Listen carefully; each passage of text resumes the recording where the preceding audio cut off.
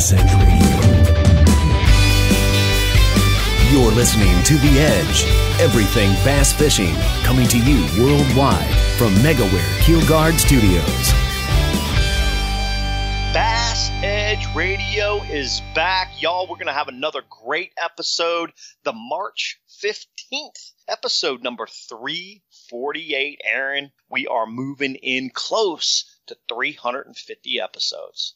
Crazy, crazy times. Who would have thought, Kurt, when we started this thing, that neither of us really knew what a podcast was, that we would still be here, you know, three almost 350 episodes later. But uh, hey, it's good to be in the chair on the mic with you, and um, just making sure not to forget to remind you to wear your green. Uh, stuff, I guess. Yeah. For the upcoming St. Patty's Day in a couple days. Bottoms up. You got your green juice, whatever juice you choose to drink. I've got mine set, ready to go. Cheers. Bottoms up always the latter half of March. A lot, lot of things to celebrate besides St. Patrick's Day, but uh, warm weather, uh, excitement in the spring, and um, tournament bass fishing on the hilt, dude. So many events going on. Love it. Yes, it's nice to know that uh, changing weather does not involve, hopefully, any sustaining, uh, you know, snowfall uh, at this point in time. I like I like the new music of the birds and some of that. So uh, good times. It's always a, a, fun time in the sport of fishing when we hit these times. But speaking of fun times, that's the uh, times that we've had with MegaWare Keelguard over the years, and of course, want to remind everybody, Bass Edge is 100 percent presented by MegaWare Keel Guard, first do-it-yourself keel protector, Flex Step, Skeg Guard, the uh, Scuff Buster, Kurt, and just on and on the list goes. But even even for the uh, crappie folk out there, we got the pontoon guard. Got to protect the yes, side sir. of the sponsons. That's right. Guards. That's right. All kinds of great stuff. Man. Be sure and visit them at uh, keelguard.com. I got to mention too really noticed this year. Got those battery guards in. And you know, the battery guard is one of those things, Aaron, that you don't see. You know, everything else you see all the time. You see your your keel guard, you see your flex step, you see your skeg pro, you know, all these yeah, it's kind of like a mushroom. It never gets the love, you know. Yeah. Dude, it does not get the love that it deserves, but I got to tell you, my batteries have been tapping me on the shoulder, thanking me after every rough run this year. So, uh, man, I, I, I, know that it's doing a, lot of good to keep my batteries protected and uh, useful for a long period of time. No failures so far, and uh, don't anticipate any because I got a battery guard on the bottom of those bad boys. So, don't forget about that to be a great accessory for we move on, Aaron, to the pro tip. We got a protecttheharvest.com tackle tip. Y'all stay tuned. We got a great episode just kicking off here, March 15th, 2021. Be right back. This episode, protecttheharvest.com tackle tip with BASS Elite Series Pro, Patrick Walter. You know, during the springtime on a, your Texas rig and say your wacky worm, weight size is a critical factor you know, during the pre-spawn, I usually throw a heavier weight. When I'm throwing a Neko rig and a Texas rig, I'll say throw a half ounce or a three eighths, whether I'm pitching around. And as the spring progresses into the spawn, that's when I start to dwindle my weight size down where I'll basically on a wacky worm, I'll go completely weightless. And on a Texas rig, I'm going from a three eighths to an eighth ounce to an almost weightless Texas rig. You know, as the spawn really kicks in full gear, the more weightless baits really tend to shine. You know, it's less intrusive. You had to really pick the areas apart. So as the spring progresses, so your weight sizes should drop. And then as the post spawn comes back up, you can jack the weights back up. So always play with those weights a little bit and uh, you can never go too light. Great tip, Patrick. Brought to you by ProtectTheHarvest.com. First by land and now by sea. For years, Lucas Oil has been a staple in high performance vehicles on both the road and track. Now, from the makers of Lucas Oil comes Lucas Marine products, specifically engineered for marine applications. Protect and lubricate your marine inboard, outboard, or high performance boat with Lucas Marine Engine Oil or Lucas Synthetic Based Oil. Learn more about the complete line of Lucas Oil and marine products. Visit lucasoil.com. Nitro Performance Bass Boats. Get pro level performance with the Nitro Z18, the official boat of Major League Fishing. The Z18, with its nimble handling and versatility, sports many of the features in the larger boats in the line, like a Guardian Live Well, a heavily insulated cooler, dual 8 foot rod storage, and our smooth and fast NVT hull. Every Nitro boat is laid out to do one thing very well catch fish. Enormous front decks, up to 45 square feet on the Z21, allow maximum mobility when battling unruly bass and feature low profile gunnels for ease of skipping, pitching, flipping, or landing fish. Nitro Performance Bass Boats, pure fishing machines.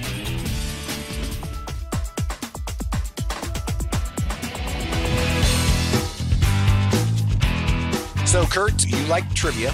And, um, you know, the last trivia question I asked you a few episodes ago obviously made it too easy. So I'm going to try and turn up the difficulty a little bit. You know, you're now to level two. Let me close my eyes. Yes. Let me, You gotta do- visualize. Visualize, yes, correct. So th- this is a question, and you have to name the answer of what has, what possesses, what you know features, however you want to say this, without trying to give you uh, any more clues. But I'm looking for what actually has, from tackle reviews to electronics, okay, Uh-huh. kayaking to guiding, sponsorship tips to trailer care, and goes from Florida to Wisconsin. Okay, this is easy because I actually have this issue on the coffee table right behind me, Well, that's and cheating. that is Bass Angler Magazine. Yeah, that's cheating. Mark told me I got it before you did, so I was actually thought I was, you know, throwing No. you an actual curveball this time, but No. obviously that's not the case. Yeah, Bass Angler Magazine. I get every every issue that has all that great stuff, especially this 2021 spring issue. All right. Well, I yeah, now now my feelings are hurt because I thought, you know, Mark Lassagne, who obviously friend of Bass Edge and and the founder of that, I, I thought I was on some kind of special mailing list where I got my issue before you did, but obviously that's not the case. So no, it's a it's a loaded issue, that is for sure. Don't with- forget that I'm a bass junkie. I read everything. So Bass Angler Magazine is always part of my reading repertoire. Yeah, certainly. Good stuff in there. I mean, you know, just a, a loaded issue with, you know, Timmy Horton cranking Glenn Walker explaining kind of, uh, you know, the fishing riprap, Brandon Lester, Bill Lowen, Jordan Lee. I mean, anyway, it's just, uh, yeah, if they, you don't they have do a it. great job. Yeah. They do a great job. Love the episodes from BAM.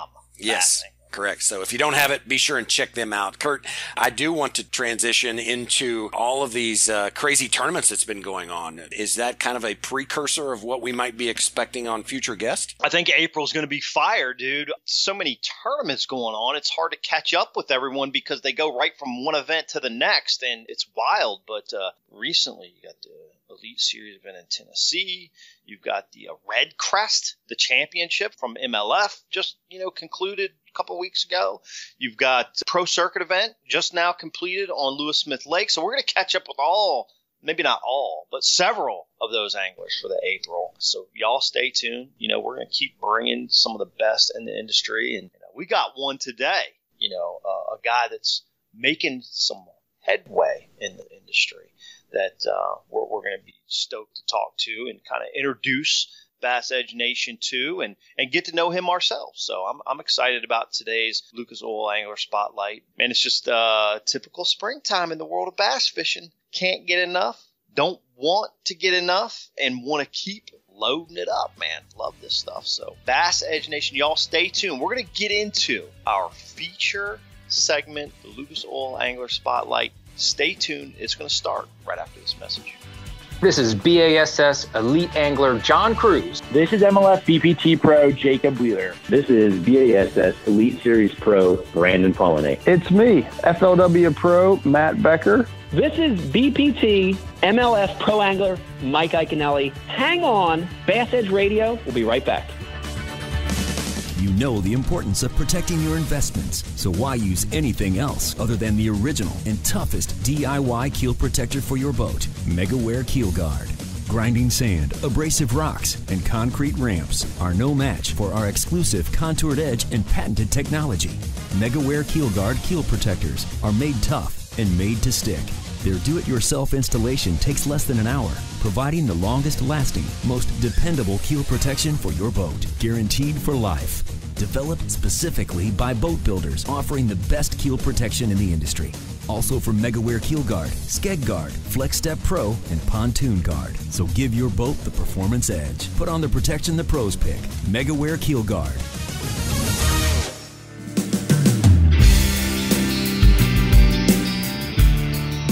We got us a Bass Edge rookie in the house today. I met this angler last year on his way to a top five finish at the Harris Chain of Lakes at the MLF Pro Circuit. Then he strapped a BFL victory into his belt last year during the summertime, and I'm not sure if he ever goes home. He's been on the road a lot since he took the plunge into the national fishing scene, but super stoked to have on the show today Kyle Gelles. Kyle, thanks for being on the podcast and welcome to Bass Edge Radio. Hey, thanks, guys. Appreciate it. Glad to be here. Well, Kyle, uh, I'm excited to have you on here. But first, I want to get, I guess, kind of the full skinny on the next Idaho prodigy. And I'm sure it doesn't take you very long to guess who the other one was that we had uh, way back when. But Idaho's just not the metropolis of bass fishing that you would compare to like a Texas or a Florida. So tell us some of your background and the path to bassing on the national level. Yeah, that's kind of funny you'd bring up Brandon because that's like the first thing anyone ever asked me when I'm traveling. They find out I'm from Idaho, they like, "Do you know Brandon?" I was like, "Well, yeah, I know of him. You know, he's right. kind of famous." But yeah, my background in Idaho is pretty much just that. You know, it's my path has been kind of all over the place, and a lot of that has to do with just my life in general. I kind of got into competitive bass fishing late in my life. You know, just right after high school when I was starting college, and so really my fishing schedule was kind of oriented around you know my finals my test schedule you know i was working full time and so really my path just veered all over the place. But you know i wanted to spend as much time as i could on the water because i love it. You know i there's nothing i enjoy more and that's why i'm out here is because i love competitive bass fishing. So i took every opportunity to compete whether it was at you know, the TBF level, Bass Nation events, clubs, state opens. You know, it just really started from the beginning at a club level and just worked its way up to where we are today, where we're traveling across the country and chasing fish. And that's very cool. So let me say, a lot of kids nowadays go to college just for the bass fishing, right? And it, it, sounds like you were a little bit after that. You went to college for an education, then the bass fishing became a central focus after all that happened because you were scheduling bass fishing around finals. And a lot of people schedule finals around bass fishing nowadays. So where did yeah. you go to school and were you able to compete collegiately in bass fishing or, or how was that process for you? So I went to Idaho Idaho State University. And like you said, Idaho, we're known more for, you know, our famous trout fishing um, than we are competitive bass fishing. And so, really, I think Boise State at the time was the only place that had a college fishing team. And it was just barely kind of starting to get going when I was in college. And there was the opportunity to start my own club, you know, at Idaho State at the time but I really didn't know much about it. And it was just really starting to take off. You know, it wasn't as big as it is now, you know, by any means. And, you know, really, I just went to college, focused on that. You know, I worked full time and just spent as much time fishing as I could around life. So I didn't get to compete at that college level, which I truly wish I could almost go back to college just so I could experience it because it seems like a pretty awesome program. Yeah, I'm, I'm in the same boat, man. I wish they had college fishing when I was in school, and uh, I, it wasn't even a blip on the radar back then. so yeah, yeah. I don't know if I would have graduated if they had college fishing, though. That'd be the problem. So. Right. Yeah, I hear that, man. I saw through your MLF profile, you spent a lot of time fishing the Western Division, obviously, of the Toyota Series, and you, you kind of came up I don't know if it's, I would say nowadays, kind of a traditional upbringing through the system. You know, you, you started out at a co angler level, then kind of transferred into the uh, boater side or the pro side, and um, started to have some end ways and, and really kind of get some experience in a region of the country. But then you made a jump with I would say without a ton of experience into the national level. Really wanted to dive in and see what prompted you to make that move and how your experience has been up to this point. Well, really, you know, while I was going to school and, you know, fishing all that time, I knew I wanted to fish professionally somehow, some way. I didn't know what that path looked like. Um, I knew really the only chance to make a major circuit would be through the West Coast Toyota Series, what they call it now. I think it was the Rayovac, you know, way back when when I was right. fishing in college. But really, the, you know, the qualifier system out west, you know, that was really the only option for you know a West Coast guy to qualify for MLS because you know Bassmaster, you know, they never hold any opens over there on the West Coast, and so right. Um, like I said, the years I fished the Toyota Series, they're kind of scattered, you know, and most of that was because of my life situation, whether I was going to school or working. You know, I'd started out as a co-angler, fishing one or two here and there, wherever I could fit them in my schedule. To eventually, I think a couple years I fished as a co-angler, the full circuit, just trying to learn more and grow as an individual, as an angler. And then then I started doing them as a boater. And a lot of times, you know, certain years with my vacation at work and stuff, I could only fish one or two of them and, you know, not a full series. And then finally I saved up enough time, enough money that, you know, the year before I came out here on the pro circuit, I was able to fish a full division and, you know, it really didn't have a standout season, but I got the invite and I just knew, you know, with my personal situation, I had some money saved up that I could fund myself through the first year and the time was now if it was ever going to be any you know for me. I don't have any kids. I don't really have any family back home tying me down or obligations that way you know that i really had to worry about. So i was pretty much free to do what i wanted and i just you know couldn't say no to the opportunity to come out here and fish some of these places i'd only ever read about or seen on tv so well, hats off to you, Kyle, for charting that course. And, you know, my opinion is that collegiate athletes, like when you were going through that, that's some of the most difficult, I think, times to, to be able to juggle your studies, keep your grades up, the demands of, of just college, but also then trying to be your own travel coordinator, come up with enough money to stay out there, you know, and do what you do. Not to mention try to stay competitive, you know, and kind of along that same line, I guess, you just barely missed kind of the championship last year, but gained an immense amount of experience. What do you define as success for you moving through 2021? Well, definitely, you know, the championship is on my radar this year. I'll be pretty sad if I don't make it. I was sad last year, and not because of the fact that I didn't make it, but because throughout the season, there were key moments you know, whether you want to call them rookie mistakes, just not executing, you know, not making the right decisions at the right time, that really cost me the opportunity of making that championship. So, um, really coming into this season, I'm really focused on, you know, execution and just making that championship. And I'm also fishing a Toyota series, you know, the, the Southern Toyota series here in Florida. And so really making that championship as well is going to define whether or not this year is successful. Man, talking a little bit before the interview got started, you mentioned um, being gone from home. I talked about, you know, getting home after the last few events and, and then getting back out on the road. And uh, you're just a straight roadie right now, right? So you said you might get back home in October, which which I, I find awesome actually.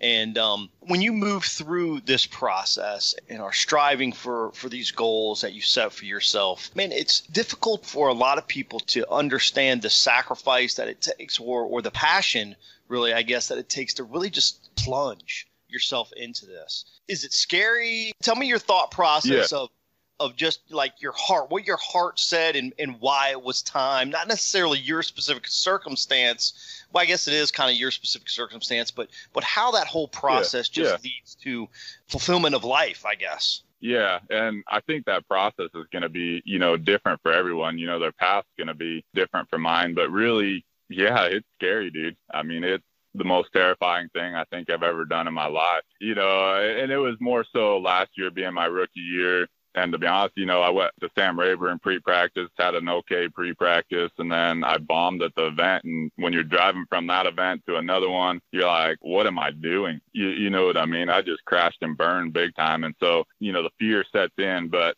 I think at that point you really find out what you're made of. And like I said, I knew this is what I wanted to do. I didn't know how or why or when it was going to happen for me, but this was my one chance to make it happen. And you just get that feeling that it's time to do it. And when you get that feeling, you got to take your opportunity or else I think you're going to regret it in life, you know? So I'm either going to make it and love what I do every day, you know, fishing competitively, or I'm going to be able to go back to work and say, I tried it. I was able to try it for, you know, a good number of years. I gave it all I had and it just didn't happen for me. But truly, you know, we're going to make it work one way or another. So, like Kurt, if yeah. you don't mind, I'm, i want to yeah. follow up on that because I, I, really would like to get both yours and Kyle's perspective on this. You know, kind of in business, I always say to be a success, you can't really have any plan B, right? Because that keeps you from diverting to the parachute. But the difference with fishing, yeah. you know, we're all addicts. And the, the downside to that is, you know, it's, at some point in time, it's kind of like if you're addicted to gambling and you think red 13 is going to hit every time, eventually there has to be an exit clause on that. So, you know, I certainly I do not fish full time. I mean, you guys both know that. I just I'm passionate about it and I fish as much as I can. But for the two of you that are out there on that, at what point in time, you know, Kurt, you being kind of the senior of the two and having more experience, do you ever say, okay, we have to have an ejection seat button that in the event that something goes awry, that I've got to have a, an exit strategy? Well, so for me, I actually never had a exit strategy. It was just alterations in movement. Like, how do I keep this going? I'm not going to quit. I'm not going to stop. Are there certain instances through my 15 year career now, you know, that I've had to uh, make some adjustments and move the the blocks around to make a picture that worked for me? no doubt. But but it was never the fact of okay well here's my exit clause because i'm gonna stop. Because like i mean you said it perfectly. I hate to use this word but we are addicts right? I mean we want to fish. This is what we love. This is our passion. This is this is what drives us what pushes our buttons of happiness and fulfillment. And so it's never that there was an exit strategy, but definitely there are times when you got to move the blocks to make the picture make sense because you can't go down a path of destruction, obviously. So um, that's what it's been for me. It's just moving around and making things work so that, you know, I can continue to strive for the goals that I've had since I was a teenager, you know, and I'm still knocking on the door, still waiting for, for the opening. And as far as, you know, like the big win and, and, and all the things that you dream of, but, but through that process, I've been able to live what my initial goal was, and that was to make a living in the fishing industry, bass fishing. Now, it hasn't always been fishing, but it's always been associated, and always fishing has been the primary focus of the path. So, Kyle, how about you? Yeah, and I don't think I could say it much better than that, to be honest with you. I don't really have an exit strategy. I'll be honest with you, if I were to drop everything today, I could make some phone calls and probably have some work lined up before my truck ever entered back, you know, across the state of Idaho. right, but right. truly, I mean, this is all I've ever wanted for, you know, a long time. And so I will do whatever it takes to make that happen. You know, whether, like Kurt said, make some adjustments here and there, just whatever it takes. This is, like you said, kind of my life's dream to be able to be out here fishing full time and to make a living in the industry and be able to do it day in and day out and not have to, you know, go back to a, a nine to five job somewhere else. Right, right. Well, you talk about Idaho. Let's kind of change a little focus. Let's talk some more fishing, but in a in a casting perspective. Idaho, dude. I mean, outdoors heaven, right? I mean, you know, you anything see, you could think of. Right, hunt elk hunting, deer, mule deer, what you know, fishing, big smallmouth largemouth fisheries. You mentioned the trout fishing out there. So let's dive into the bass fishing of Idaho. What's yeah. your favorite smallie lake and your favorite way to catch them? out there? Favorite smallie lake and favorite way to catch them, huh? I'd have to say I kind of consider it my home stretch river. So in the state of Idaho, I'm from the southern part of Idaho. You know, Brandon's from way up north, and everyone wants to know about Brandon's lakes up there because, well, I mean, he's Brandon.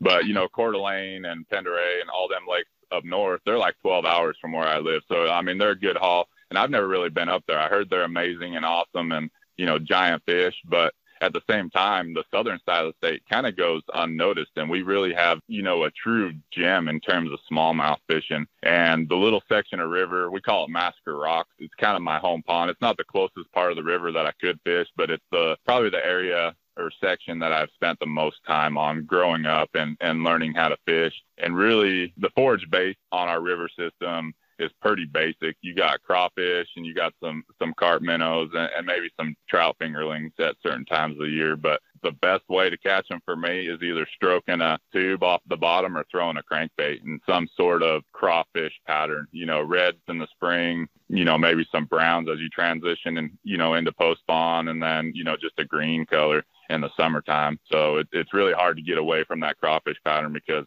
it just works.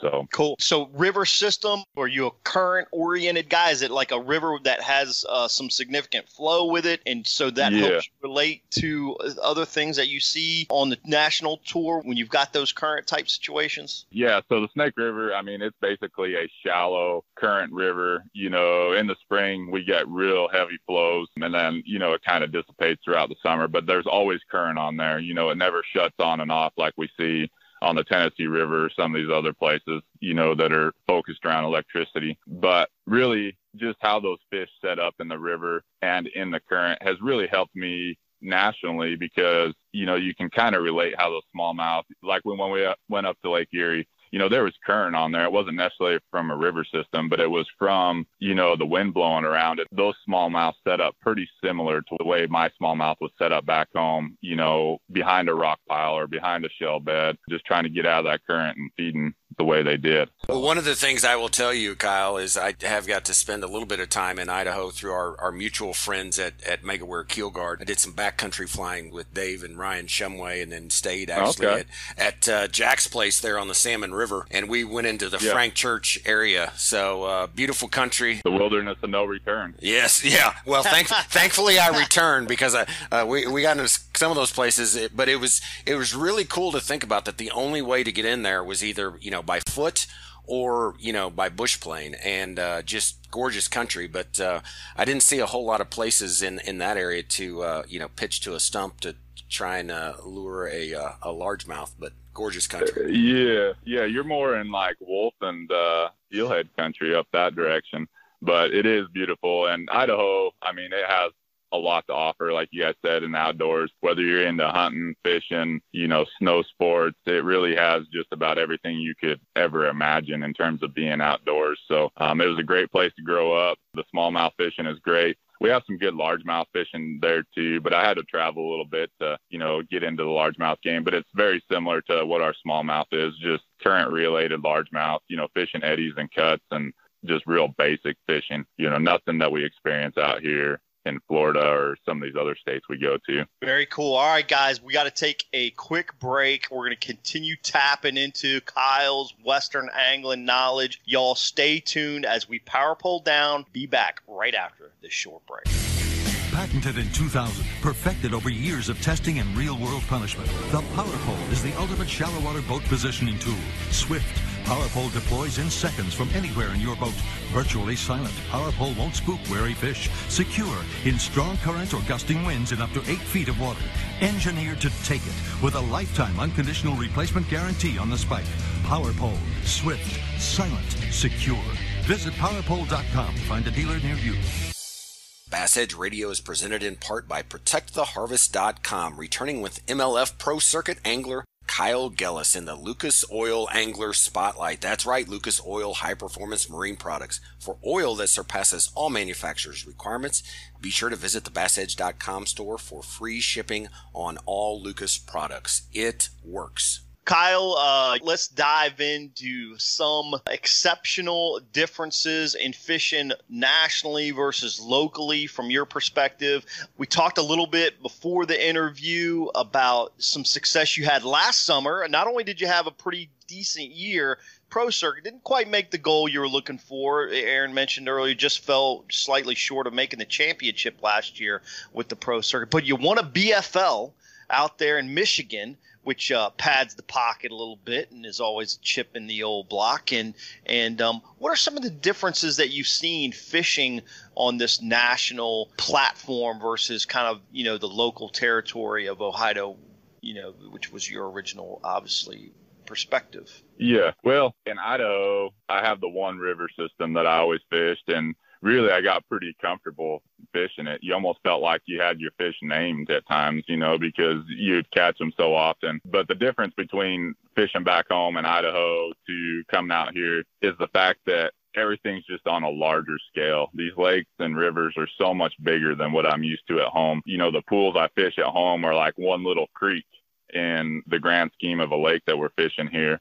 And so really that's kind of opened my eyes to, you know, how difficult it can be at times to find fish on the road, you know, just because everything is so much bigger than what I'm used to back home. Yeah, you know, your story reminds me a little bit of kind of like Takahiro Omori when way back in the day in the I think it was the 90s, early 90s when when he came over. You know, didn't know anything, but just kind of being plunged into literally and and figuratively of of trying to figure out these lakes. And I think that's something that you perhaps can really relate to with Bass Edge Nation, right? Because a lot of us Absolutely. that are part of this, you know, maybe we compete, maybe we don't, but most of us just like to go out and try to figure out the bass. And so if you have limited time, right, which you do, most of us are working jobs and, and we get a couple days off, perhaps a month to hit these new lakes. But when you think about pros and cons to practicing for a lake that you have not been on, what is your take on visiting a lake several days, you know, long before an event versus just showing up for practice a couple days prior? Well, I think the pros are, you know, I'll split it up into two. The pros definitely, you know, showing up early for an event, you know, say a week, 10 days, you're going to be able to fish more relaxed. Your practice isn't going to be rushed. You're going to probably be able to see more of the body of water that you're on and maybe get a feel for you know whether they're offshore whether they're up on the bank you know what kind of forage is in there what kind of grass that they're relating to so you'll get a better idea if you you know are able to spend more days on there but at that same time if you get too dialed in too early into a practice i feel like it can also hurt you at times because a lot of times, especially here, like I'm in Florida right now, these fish seem to change day by day. And, you know, I've seen it in other parts of the country too. Whereas, you know, you could be on an awesome pattern, you know, five to 10 days out from a tournament. And then all of a sudden you get two or three days before the tournament, it just completely shuts down and you got to refigure them out, you know, and chances are they did, probably didn't move far. But if you get too dialed in too early, I feel like that could hurt you come tournament day if you don't keep an open mind on what's going on. Right. It, may, it makes a lot of sense. When I started my career, I used to go to some of these, you know, lakes and, and kind of get familiarized and, and you know, just because you want to catch fish, you just start fishing and uh, yeah. you get a bite here and you get a bite there. Then all of a sudden, when you go back for the event, you start thinking about, well, I got that bite over here, and then I and I caught it doing this, and and you start wanting to duplicate that because that's human nature. Yeah. You know, you had success, you want, and then it can kind of potentially lead you off. I don't want to say astray, but it can take time because practice is short, especially now. We've got two days yeah. of practice. So leaning on something in the past, it can be a real detriment these days. It, it can help you some. Maybe you got a rock pile or some brush piles or, or something like that where you, you know the fish are going to be utilizing here or there. Well, you know, Kurt, don't you think that, uh, and, and Kyle, that if we could allow our brains to only go and use it as a navigational, you know, learning expedition of, okay, where things are at to get your bearings, but for some reason I cannot leave my rods in the rod box when I do that. I always got to right. pick up and make a cast.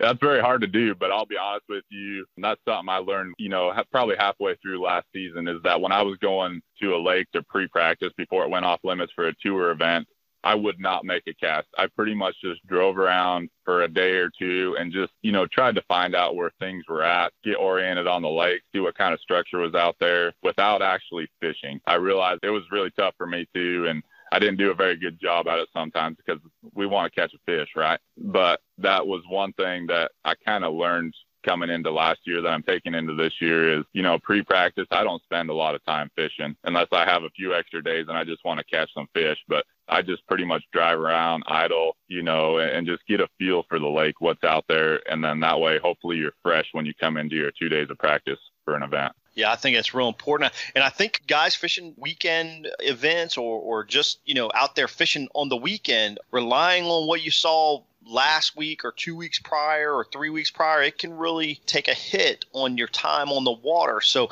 you know, important yeah. Bass Edge Nation to, to keep in mind to keep things fresh, go with current daily conditions sunny cloudy yeah. water temps all those kinds of things that you know lean on the fundamentals that we learn here through bass edge radio and and all the books and, and other information that's out there through bass fishing but lean on those fundamentals but still keep an open mind throughout the day and uh, that's the reason why we all have eight or ten rods or, or 15 rods rigged up when we first hit the water and hope to narrow it down to you know four or five by the end of a few days. But uh, yeah, great stuff there, Kyle. You know we haven't had this discussion on the show in, in quite a while, and you're in a great position after now you've had a full year of national tour experience. You've got off to a great start this year with the uh, MLF Pro Circuit with a good finish there at Lake Okeechobee. Now getting ready to hit Smith Lake, a little bit different here in Alabama but a lot of anglers are wanting to live this dream, this passion that we talked about in the first half of the interview. From your experience this year and last year, what does an angler need to be ready for to make that jump to the national tournament fishing level and have a good opportunity to be successful? What are your key ingredients? Well, I think the biggest thing I learned coming out here, you know, when I first took off for home, you kind of look at these guys that you've looked up to for a good number of years that have been on tour or the elite series for quite some time and you kind of study on how they came about you know getting there and that type of stuff and you try to make a plan for yourself around that. But really what i learned is i think everyone's path to getting here is going to be different based on you know your life circumstances. And so I would say one of the most important things if you're going to make that plunge, figure out a plan that's going to work for you. If you got family, you know, set up some kind of system that, you know, you guys are going to continue to communicate around your fishing or, you know, still get that important time together somehow, whether it's through FaceTime or being home at certain times. Just try to plan out as much of that as you can so that all the variables are taken care of when you're out here on the road. So all you can do is focus on fishing is the biggest thing I've learned is try to have everything mapped out as best you can. And it's going to be your own individual map, right? Like I said, it's not going to be someone else's map because it may not necessarily work for you or for them.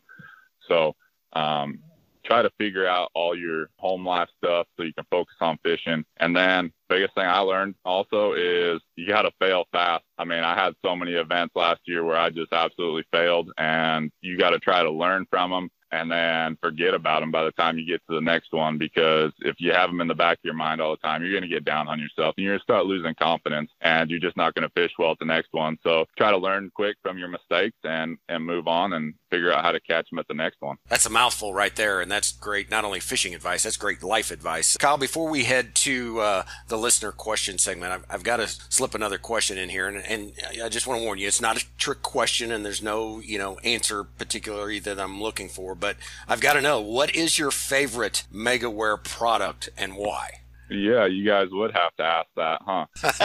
just joined just, joined Kurt on the MegaWare team and couldn't, and couldn't be happier. You know, it, it's been an awesome experience so far, and hopefully we continue down the road with them.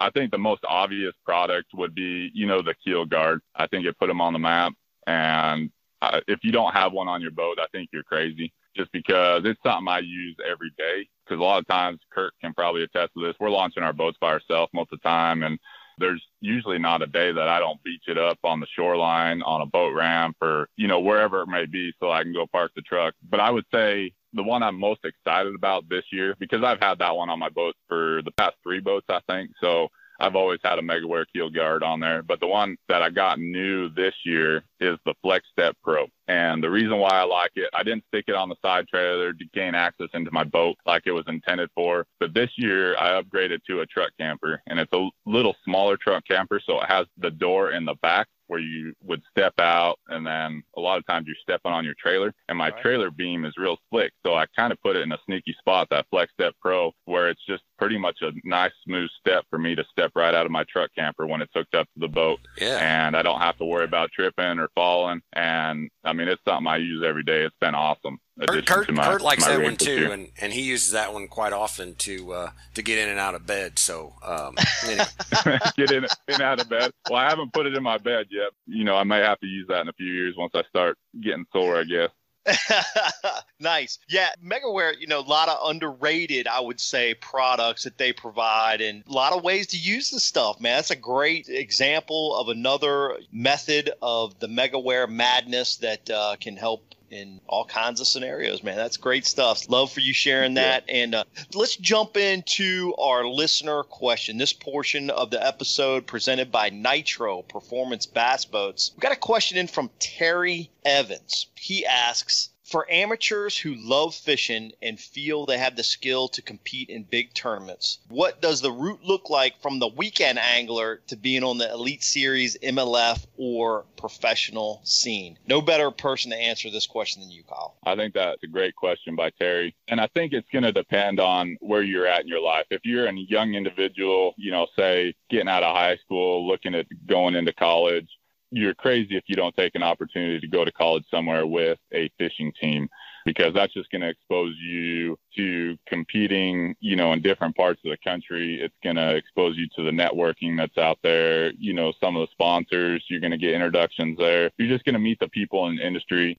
If it's something you want to do, you know, you're just going to have all that information available to you to making that leap from, you know, say the college level onto a national circuit, whether it's the elites or the MLF or what, whatever you're striving for. If you're a little past the college, like I am at this point, I would say, you know, there's many opportunities out there. Um, start at your club level. Because some of those, to be honest with you, are probably the most competitive out there. You know, you got some guys out there that don't make a living fishing, but they could probably do it if they truly wanted to. But start there, you know, and work your way up into the BFLs or the Toyota Series one piece of advice that I learned when I was doing it, you know, I kind of cherry picked the tournaments that I wanted to fish, whether it was around my college schedule or work schedule. But I feel like I didn't get the full picture of a fishing season, right? And so I would say if you're striving to move on to the pro circuit or the elite, you got to try to fish a full qualifier season.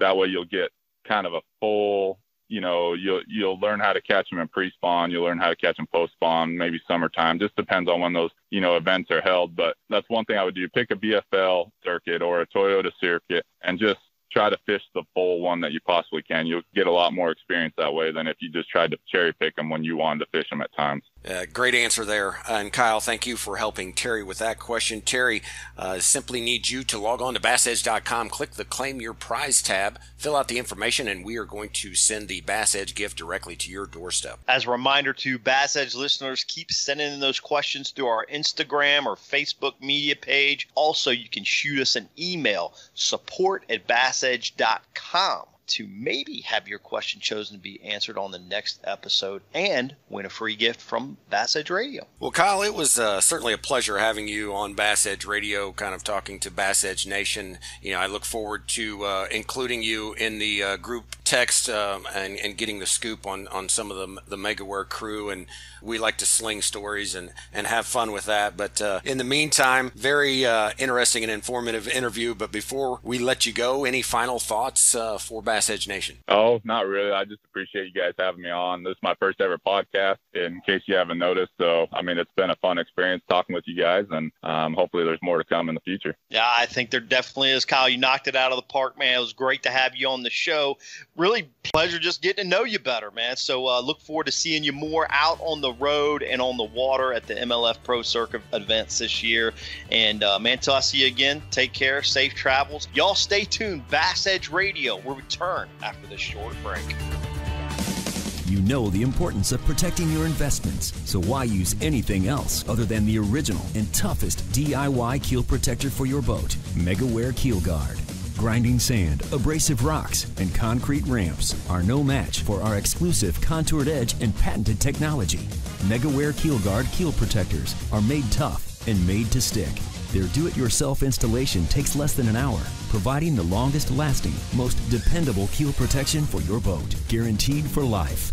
Developed specifically by boat builders offering the best keel protection in the industry. Also from MegaWare Keel Guard, Skeg Guard, Flex Step Pro, and Pontoon Guard. So give your boat the performance edge. Put on the protection the pros pick. MegaWare Keel Guard. Patented in 2000, perfected over years of testing and real-world punishment, the Power Pole is the ultimate shallow water boat positioning tool. Swift, Power Pole deploys in seconds from anywhere in your boat. Virtually silent, PowerPole won't spook wary fish. Secure in strong currents or gusting winds in up to 8 feet of water. Engineered to take it with a lifetime unconditional replacement guarantee on the spike. PowerPole, swift, silent, secure. Visit powerpole.com to find a dealer near you. Be at home with nature with nature inspired art, decor, and gifts by Wild Wings at wildwings.com. Explore art prints and canvas wraps of bass, trout, walleye, muskie, and more by acclaimed artists like Mark Susinno. I primarily paint underwater scenes of game fish and usually in a fishing situation, going after prey or going after a lure or a fly. I get asked sometimes whether I like fishing better or artwork. It would be tough to give either of them up. I can't really think of a good reason to give either up, so I'm going to stick with them. Make your home, office, or cabin show off your passion for angling. Visit wildwings.com backslash Bass Edge and sign up for an exclusive offer to Bass Edge listeners of 10% off your next order. Give something special to your loved one and be at home with nature. Visit wildwings.com backslash Bass Edge. That's wildwings.com backslash Bass Edge to get 10% off your next order of nature inspired art, decor, and gifts by Wild Wings.